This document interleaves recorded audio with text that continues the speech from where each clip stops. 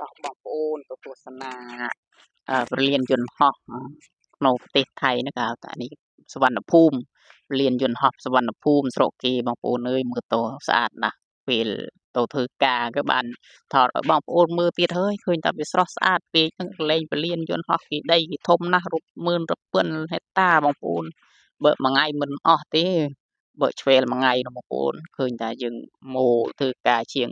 ចូលមើលបន្តិចទៅដើម្បីឲ្យ បងប្អូនយើងបានមើលផងថតចែកជូនពុកម៉ែបងប្អូនយើងទាំងអស់គ្នាបងប្អូនមកមើលពលានយន្តហោះណែស្រុកថៃណាសវណ្ណភូមិគេសវណ្ណភូមិនេះពេលនេះក៏យើងបានថតចែកជូនពុកម៉ែបងប្អូននោះឃើញបងប្អូនយន្តហោះលឹមលឹមនៅនោះនៅឆ្ងាយនោះនោះនេះអានេះទើបចុះបងប្អូននេះអានេះទើបចុះចតមកហើយក៏នេះយើងបានថតចែកជូនពុកម៉ែបងប្អូនថាអូយគេឈប់ចុះទៅមើលក៏វល់ការងារក៏ ថាទៅធ្វើការងារក៏ឃើញយន្តហោះជាងចូលប្រលានយន្តហោះបន្តិចក៏បានបើកឡានជាងជាងបានឃើញពលានយន្តហោះគេគឺធ្វើប្រព័ន្ធទឹកប្រព័ន្ធឲ្យស្អាតណាស់បងប្អូននោះយន្តហោះនៅនោះកន្លែងចតកន្លែងចតធំគេហ្នឹងបងប្អូនក៏យើងបាន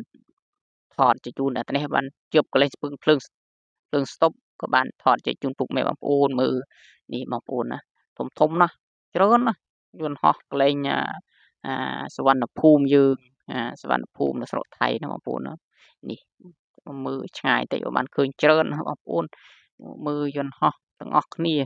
លានយន្តហោះស្រុកគេធំណាស់បងប្អូនអើយកន្លែងគេក៏ដូចកន្លែងសួនកំសាន្តចេះហើយមាន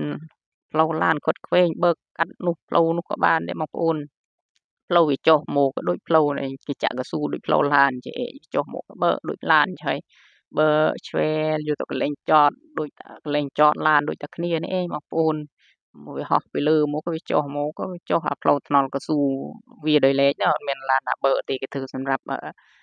យន្តហោះគេបើកចុះមកក៏បើកដូចឡានចេះឯង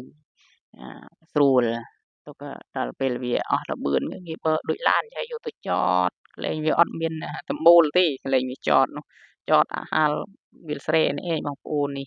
នេះក៏ច្រើនណាបងប្អូនហើយបើទៅទៀតហើយឃើញតា